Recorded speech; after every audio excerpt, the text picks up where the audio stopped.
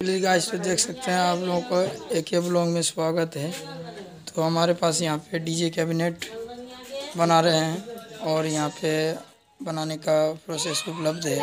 आप किसी को भी अगर बनवाना हो तो ज़रूर हमसे संपर्क करें और बनवा सकते हैं, सस्ते प्राइजों में बन जाएगा।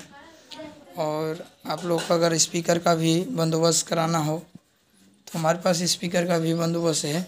ये स्पीकर यहाँ से बाहर से हम लाते हैं। तो आप लोग को अगर चाहिए तो हम बिल्कुल मंगा सकते हैं। और स्पीकर का हमारा देखिए, ये सब दूसरा स्पीकर है। वो इधर जल्दी उपलब्ध नहीं होता है हमारा बिहार में। एक विक्स कंपनी का है और एक हज़ार का स्पीकर है, देख सकते हैं। ये हमारा एक हज़ार वाटेज का है। तो किसी को अगर संपर्क करना हो, ज़रूर हमसे संपर्क कर सकते हैं। और अभी भी ये सब स्टार्टिंग किए हैं बॉस कैबिनेट का। और मतलब प्रोजेक्ट हमारे पास सब कुछ अनलेबल है, लेकिन बस ऑर्डर होगा जब भी हम मंगा सकते हैं, क्योंकि हमारा मटेरियल बाहर से आता है बॉस। यहाँ से बिहार से नहीं है या देवघर से नहीं है। तो इसलिए हमको पहले जो भी ऑर्डर देंगे तो हम पहले से ऑर्डर करके मंगाएँगे, इसके बाद हम तैयार कर सकते हैं। लेकिन कैबिनेट हम यहाँ से बना सकते हैं, क्योंकि कैबिनेट बनाने के लिए हमको प्ले का ज़रूरत है।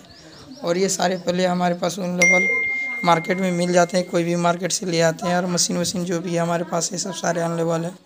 तो इस हिसाब से हमारा प्रोडक्ट यहाँ पे तैयार किया जाता है। तो आप लोग को किसी को भी अगर ज़रूरत हो, ज़रूर हमारे से संपर्क करें। बार बार से हमने आप लोग से विनती कर रहा हूँ। और ये हमारा प्रोसेस देखिए यहाँ पे हमारे पास सभी सब बुकिंग में है। अवेलेबल कुछ नहीं है हमारे घर पे। ये हमारा पहले का बना हुआ है। ऐसे फिनिशिंग में बनता है। ये कपड़ा देखिए, उड़ जाता है। इसी के लिए ये कपड़ा देखिए, ऐसे ऐसे हमारे पास हो जाते हैं। जब हम रोज़ सट्टा में चलने लगते हैं तो कपड़ा फट जाता है। तो इसी के चक्कर में हम कपड़ा नहीं दे करके इस कैबिनेट में हम पेंटिंग का इस्तेमाल करेंगे। पेंट का जो स्क्रेच नहीं हो सकता, नहीं तो उसमें फट सकता है। आप लोग देखे हुए हैं बहुत सारे कैबिनेट में पेंटिंग जो होता है स्टील पॉटिंग होता है, जो उसमें स्क्रेच नहीं होता, नहीं टूटता है। तो वही पेंटिंग इस पर हम चढ़ाने वाले हैं। और ये थोड़ा हमारा सस्ता होता है लेकिन ये यही होता है। इसका कारण साल, दो साल में ये आपको यही नज़र आएगा। फटा हुआ हर जगह से, कहीं है इधर फट गया, कभी इधर फट गया। और ये हमारा बेस का जाली है बस। तो बेस भी हमारे पास एक तैयार है अभी। इसको भी हम फिनिशिंग करेंगे। और ये सब हमारा जाली है। देख सकते हैं। इम्पोर्टेंट जाली लगेगा बस। ये नहीं लोकल जाली लगा देंगे और वो हमारा कैबिनेट बन गया, लेकिन लोकल का नहीं, यहाँ फिनिशिंग बिल्कुल एक नंबर का होने वाला है। स्पेशल जाली लगेगी यहाँ पे हमारे सारे बहुत मटेरियल पड़े हैं, अभी ऐसे ऐसे तो क्या कहें।